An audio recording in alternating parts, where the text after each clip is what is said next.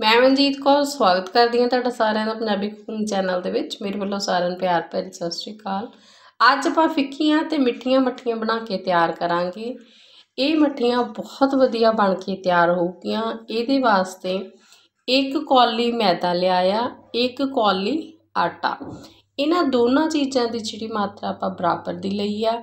ਤੇ ਜੇ ਤੁਸੀਂ ਇਕੱਲੇ ਆਟੇ ਨਾਲ ਬਣਾਉਣੀਆਂ ਚਾਹੋ, ਇਕੱਲੇ ਆਟੇ ਨਾਲ ਵੀ ਬਣਾ ਸਕਦੇ ਹੋ। ਜੇ ਇਕੱਲੇ ਮੈਦੇ ਨਾਲ ਬਣਾਉਣੀਆਂ ਚਾਹੋ ਇਕੱਲੇ ਮੈਦੇ ਨਾਲ ਵੀ ਬਣਾ ਸਕਦੇ ਹੋ। ਦੋਨਾਂ ਕੌਲੀਆਂ ਦੇ ਮੈਨੂੰ ਆਟੇ ਨੂੰ ਆਪਾਂ ਗੋਲ ਲੈਣਾ ਆ। ਜਿੰਨੀਆਂ ਵੀ ਮੱਠੀਆਂ ਬਣੂਗੀਆਂ, ਉਹਦੀਆਂ ਅੱਧੀਆਂ ਮੱਠੀਆਂ ਜਿਹੜੀਆਂ ਆ, ਆਪਾਂ ਮਿੱਠੀਆਂ ਬਣਾਉਣੀਆਂ ਆ।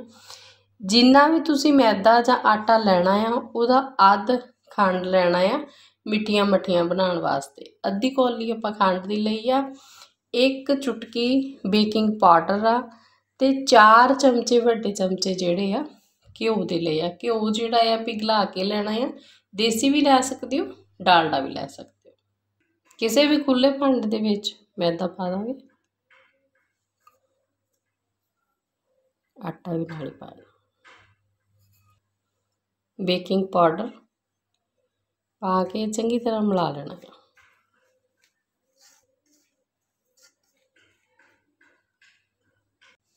ਘਿਓ ਪਾ ਦਾਂਗੇ। ਘਿਓ ਪਾ ਕੇ ਚੰਗੀ ਤਰ੍ਹਾਂ ਮਿਲਾ ਲੈਣਾ ਹੈ।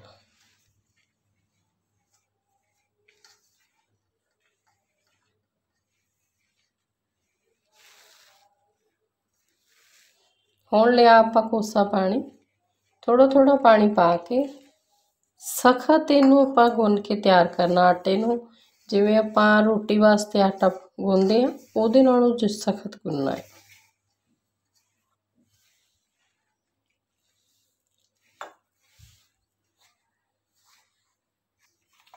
ਆਟਾ ਗੁੰਨ ਕੇ ਤਿਆਰ ਆ। ਇਹਨੂੰ ਆਪਾਂ ਢੱਕ ਕੇ 10 ਮਿੰਟ ਲਈ ਰੱਖ ਦੇਣਾ। 10 ਮਿੰਟ ਹੋ ਗਏ। ਆਟੇ ਨੂੰ ਆਪਾਂ ਇੱਕ ਵਾਰੀ ਥੋੜਾ ਜਿਹਾ ਮੜ ਲਾਂਗੇ।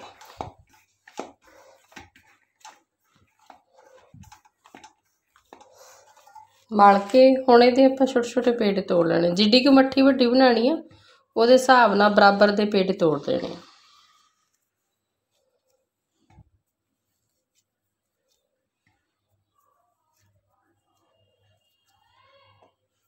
ਇੱਕ ਪੇੜਾ ਲਵਾਂਗੇ। ਥੋੜਾ ਜਿਹਾ ਇਹਦੇ ਤੇ ਤੇਲ ਲਾ ਲਾਂਗੇ।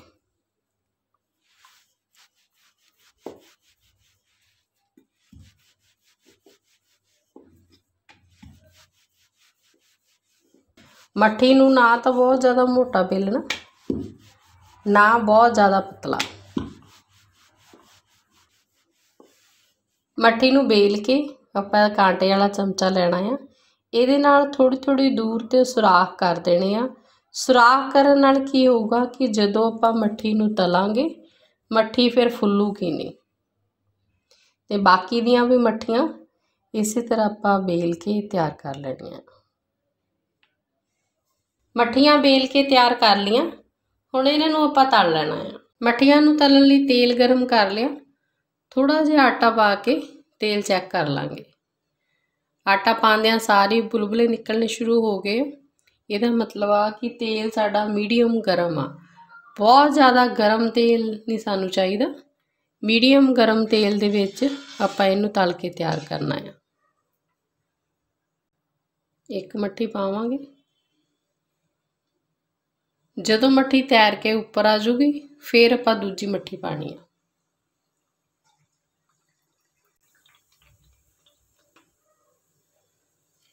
ਜੇ ਆਪਾਂ ਇਕੱਠੀਆਂ ਪਾ ਦਾਂਗੇ ਮੱਠੀਆਂ, ਫਿਰ ਇਹ ਚਿਪਕ ਜੂਗੀਆਂ। ਜੇ ਇਹਦਾ ਤੈਰ ਕੇ ਮੱਠੀ ਉੱਪਰ ਆ ਜਾਵੇ, ਫਿਰ ਦੂਜੀ ਮੱਠੀ ਪਾਣੀ ਆਪਾਂ, ਫਿਰ ਦੂਜੀ ਤੈਰ ਕੇ ਉੱਪਰ ਆ ਜੂਗੀ, ਫਿਰ ਤੀਜੀ ਪਾਵਾਂਗੇ। ਇਹਦੇ ਨਾਲ ਕੀ ਹੋਊਗਾ ਕਿ ਮੱਠੀਆਂ ਆਪਸ ਦੇ ਵਿੱਚ ਚਿਪਕੂਗੀਆਂ ਨਹੀਂ। ਸੇਕ ਮੀਡੀਅਮ ਰੱਖਣਾ ਆ, ਸੇਕ ਦਾ ਧਿਆਨ ਰੱਖਣਾ ਆ।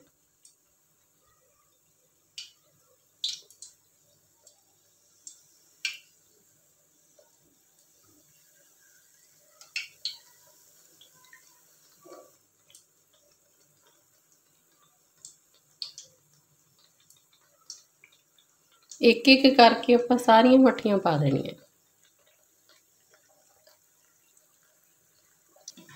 ਸਾਰੀਆਂ ਮੱਠੀਆਂ ਜਿਹੜੀਆਂ ਆਪਾਂ ਪਾਤੀਆਂ, ਜਿਹੜੀ ਥੱਲੇ ਵਾਲੀ ਮੱਠੀ ਨੂੰ ਸੇਕ ਲੱਗਦਾ ਜਾਊਗਾ, ਉਹਨੂੰ ਆਪਾਂ ਉੱਪਰ ਲਿਆਈ ਜਾਣਾ ਹੈ ਜਿੰਨਾ ਹੁਣ ਇਹਨੂੰ ਘੱਟ ਸੇਕ ਦੇ ਉੱਤੇ ਆਪਾਂ ਸੇਕਾਂਗੇ ਉਨੀ ਹੀ ਜ਼ਿਆਦਾ ਫਿਰ ਇਹ ਕੁਰਕਰੀਆਂ ਬਣ ਕੇ ਤਿਆਰ ਹੋਊਗੀਆਂ।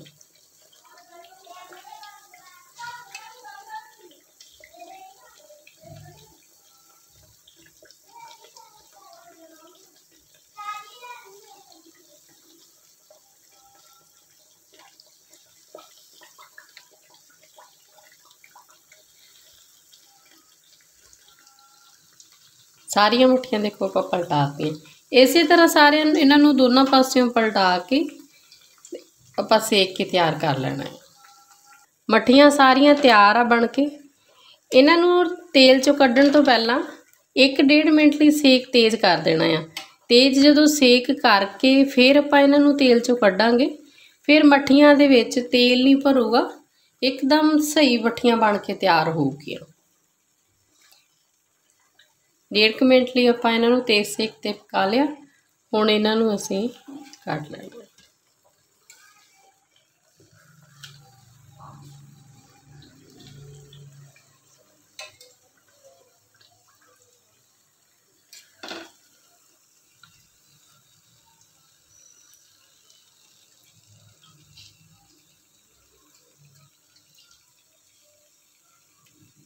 ਇਹਦੇ ਉੱਪਰ ਹੁਣ ਆਪਾਂ ਇਹਨੂੰ ਥੋੜੀ ਦੇਰ ਰੱਖ ਲਾਂਗੇ। ਸਾਰਾ ਤੇਲ ਜਦੋਂ ਮੱਠੀਆਂ ਚੋਂ ਨਿਕਲ ਜੂਗਾ, ਉਸ ਤੋਂ ਬਾਅਦ ਫਿਰ ਇਹਨੂੰ ਆਪਾਂ ਬਾਹਰ ਕੱਢਦੇ ਇਹਨਾਂ ਦੇ ਵਿੱਚੋਂ ਹੁਣ ਅੱਧੀਆਂ ਮੱਠੀਆਂ ਜਿਹੜੀਆਂ ਆ, ਆਪਾਂ ਮਿੱਠੀਆਂ ਬਣਾਉਣੀਆਂ ਆ, ਮਿੱਠੀਆਂ ਮੱਠੀਆਂ ਦੇ ਲਈ ਚਾਣੀ ਤਿਆਰ ਕਰ ਲੈਣੀ ਆ। ਚਾਣੀ ਬਣਾਉਣ ਲਈ ਲਵਾਂਗੇ ਫਰਾਈ ਪੈਨ ਇਹਦੇ ਵਿੱਚ ਪਾਵਾਂਗੇ 1 ਚਮਚਾ ਖਰਬੂਜੇ ਦੇ ਬੀਜ। ਇਹਨੂੰ ਅਸੀਂ ਥੋੜਾ ਜਿਹਾ ਭੁੰਨ ਲੈਣਾ ਖਰਬੂਜੇ ਦੇ ਬੀਜਾਂ ਨੂੰ। ਤਾਂ ਕਿ ਇਹਦੇ ਚੋਂ ਕੱਚਾਪਨ ਨਿਕਲ ਜਵੇ। ਵੀ ਭੁੰਨ ਹੋ ਗਏ। ਹੁਣ ਜਿੰਨੀ ਆਪਾਂ ਖੰਡ ਲਈ ਆ, ਉਹਦਾ ਅੱਧ ਆਪਾਂ ਪਾਣੀ ਪਾ ਦੇਣਾ ਆ। ਖੰਡ ਪਾ ਲਾਂ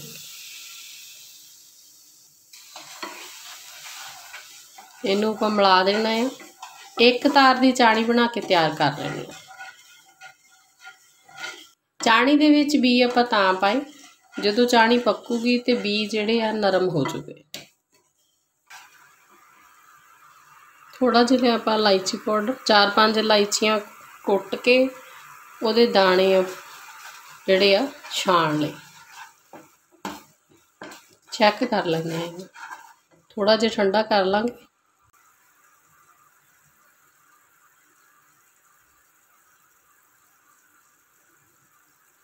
ਹਲਕੀ ਜੀ ਤਾਰ ਨਿਕਲਣੀ ਸ਼ੁਰੂ ਹੋ ਗਈ ਹੈ ਗੈਸ ਆਪਾਂ ਬੰਦ ਕਰ ਦੇਣੀ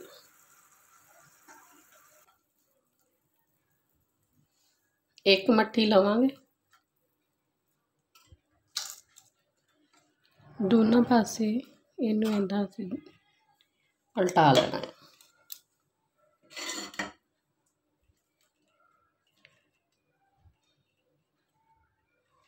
ਚਮਚੇ ਦੇ ਨਾਲ ਲਾ ਦੇਣਾ ਹੈ ਚਾਣੀ ਨੂੰ ਜੇ ਨਾ ਲੱਗੇ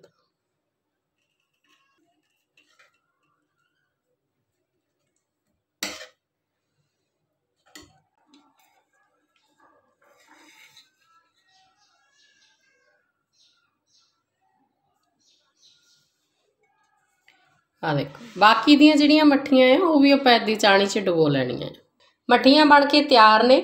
ਖੰਡ ਵਾਲੀਆਂ ਮੱਠੀਆਂ ਨੂੰ 1 ਮਿੰਟ ਤੱਕ ਚਾਣੀ ਦੇ ਵਿੱਚ ਡਬਾਉਣ ਤੋਂ ਬਾਅਦ 15-20 ਮਿੰਟ ਲਈ ਉਹਨੂੰ ਠੰਡੇ ਹੋਣ ਲਈ ਰੱਖਤਾ ਸੀ ਤੇ ਖੰਡ ਦੇਖੋ ਜਿਹੜੀ ਆ। ਐ ਚੰਗੀ ਤਰ੍ਹਾਂ ਇਹਦੇ ਉੱਪਰ ਲੱਗ ਗਈ ਆ, ਪਰ ਹਲੇ ਵੀ ਥੋੜੀ ਜੀ ਇਹ ਗਿੱਲੀ ਆ। ਮੱਠੀਆਂ ਦੋਨੋਂ ਹੀ ਬਹੁਤ ਵਧੀਆ ਬਣ ਕੇ ਤਿਆਰ ਹੋਈਆਂ ਆ। ਤੁਸੀਂ ਇਹਨਾਂ ਨੂੰ ਇਸੇ ਤਰੀਕੇ ਦੇ ਨਾਲ ਬਣਾ ਕੇ ਘਰ ਦੇ ਵਿੱਚ ਖਾ ਸਕਦੇ ਹੋ।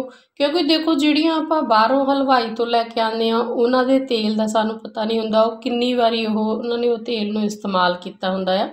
ਘਰ ਦੇ ਵਿੱਚ ਆਪਾਂ ਆਪਣੇ ਆਪ ਪਿਓਰ ਚੀਜ਼ ਜਿਹੜੀ ਬਣਾ ਕੇ ਸਾਫ਼ ਸੁਥਰੀ ਬਣਾ ਕੇ ਖਾ ਸਕਦੇ ਹਾਂ।